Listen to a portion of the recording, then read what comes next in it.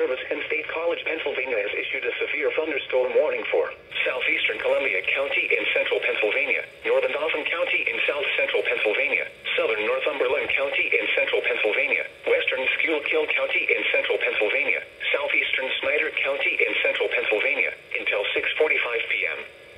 At 5:34 p.m., severe thunderstorms were located along a line extending from Port Trevorton to near Meiserville to Millersburg to Duncannon, moving northeast at 35 miles per hour. Hazard: 60 miles per hour wind gusts and nickel-size hail. Source: radar indicated. Impact: expects damage to roofs, siding, and trees.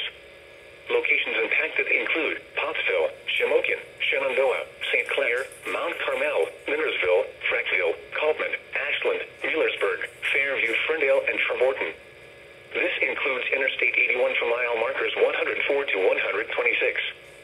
For your protection, move to an interior room on the lowest floor of a building. Intense thunderstorm lines can produce